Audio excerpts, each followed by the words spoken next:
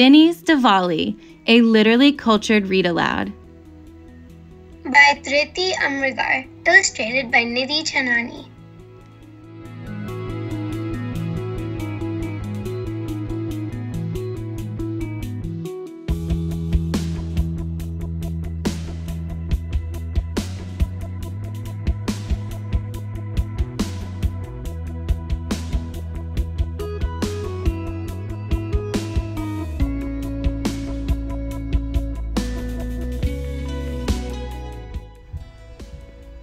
Binny woke up happy but nervous.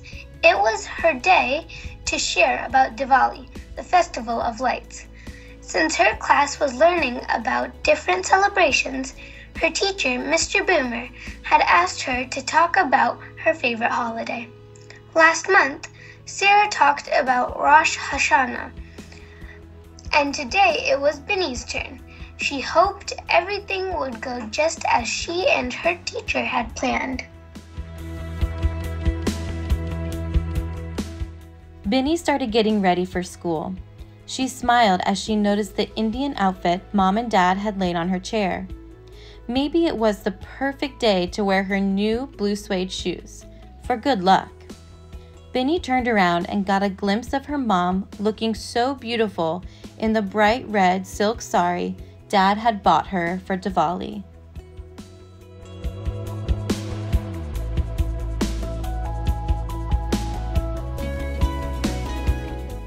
Everybody went shopping for Diwali. Kids got new clothes and toys, parents bought each other jewelry, and friends exchanged gift baskets filled with cakes and sweets and nuts.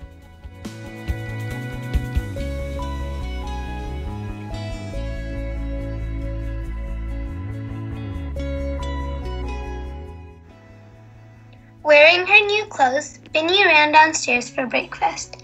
Instead of cereal, Mom and Dad had a treat for her warm jalebis, orange discs of sweetness that melted in her mouth when she bit into them, and soft, milky pedas that crumbled in her mouth and made her lick her lips. Dad quickly packed the rest for her class. May the words you speak today be as sweet as jalebis and as soft as pedas, he said.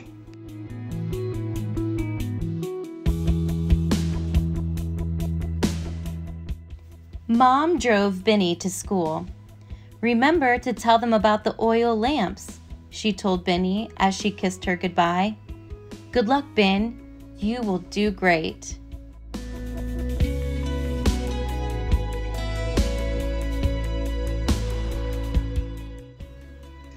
After morning circle time, Mr. Boomer called Binny's name. But when she stood before the class, a terrible thing began to happen. Suddenly, she felt so shy and scared, her mind went blank.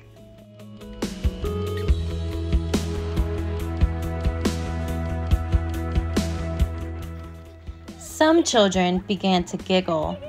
Others fidgeted, not knowing what to do. Today is Diwali, Binny said nervously. Diva, who? yelled Tommy. The teacher stood up and gave the sign for quiet.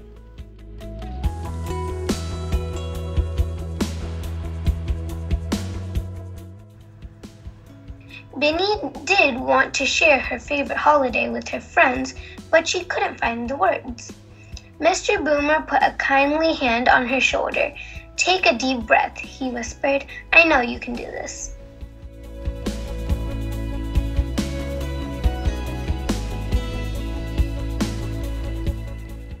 Just then, Binny remembered what Mom had told her about the lamps. To celebrate Diwali, people lit little oil lamps called diyas and put them by their front doors to guide good luck into their homes and chase away the darkness. All over the world, Diwali marked the victory of goodness and light.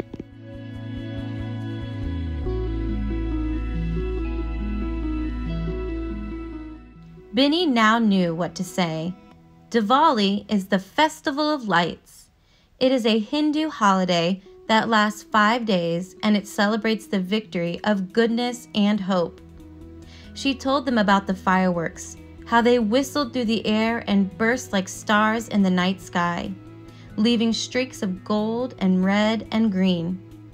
She described the sparklers Dad lit in the yard, how she made figure eights with them, the golden sparks opening like a flower. Mr. Boomer brought over the streamers that Binny had made. She took out some colorful glitter and asked Juliet and Aisha to help her make them brighter.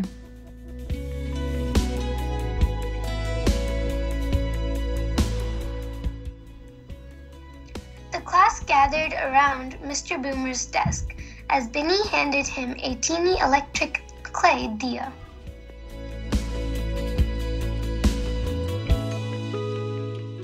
The teacher turned it on. The small flickering light looked so pretty that all the children oohed and awed.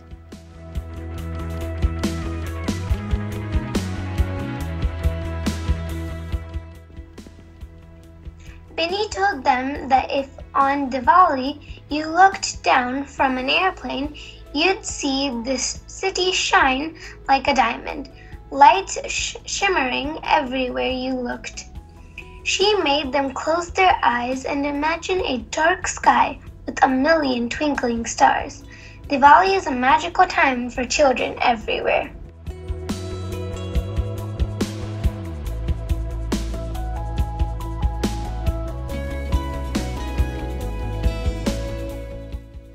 Binny had one more thing to show them the best thing of all. She took out bags of colored powder red, blue, yellow, purple, green, and orange and sprinkled them onto the floor. First, she drew a flower with the powdered chalk. Then she used it to write, Happy Diwali to all.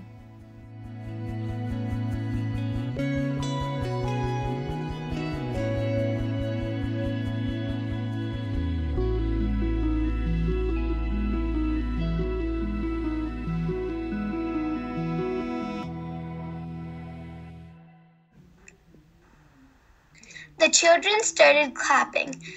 Binny went to her desk, and out came the box of pedas and jalebis, one for each student in the class, and for Mr. Boomer, too.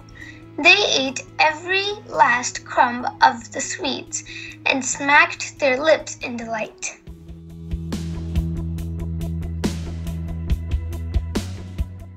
Romeo raised his hand. How many festivals are there in the world? he asked.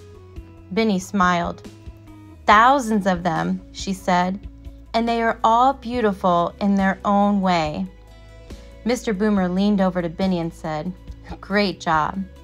She grinned from ear to ear.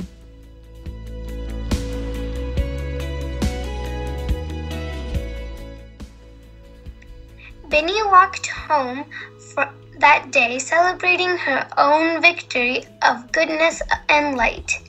The spirit of Diwali was real. The story of the oil lamps had chased away her own fears. Everyone loved Diwali, this wonderful festival of lights.